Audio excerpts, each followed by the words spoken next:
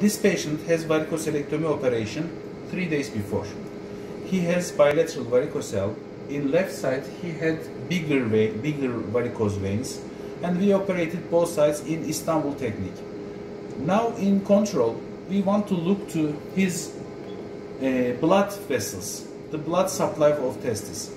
If in varicocele operation we uh, cut the testicular artery by mistake, there will be no blood coming to testis. But here I can easily see all blood vessels are present and testis is supplied with blood very nicely. Testicular artery is safe. Then second I look for uh, the venous vessels. In normal varicocelectomy operation, I have to see here the enlarged veins because we just cut the venous structures and we tie them but the testis fills with arterial blood and how does the art, uh, blood go back? They go back from veins. But when we tie the veins the veins are filled with uh, blood. They they are uh, the blood cannot flow and they uh, enlarge the tied veins.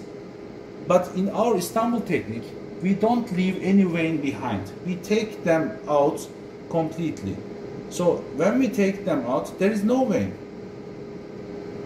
In normal varicocelectomy operation, we have to wait three months to see this picture, to see uh, this scene, uh, because the uh, the left veins they get larger and larger for three months, and then they disappear because they do, they don't have any blood flow in them.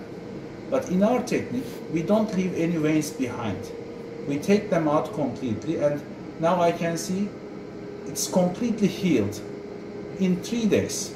It's very uh, nice technique because uh, we took the, all the veins out completely. Here I can easily see the testicular artery. It is well preserved.